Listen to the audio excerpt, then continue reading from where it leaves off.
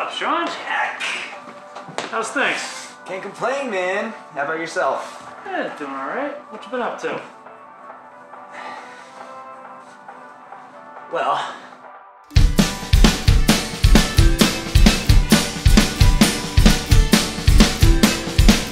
It was winter 2020, we were playing on the roof Jack was slapping stand up to another song by Bruce Some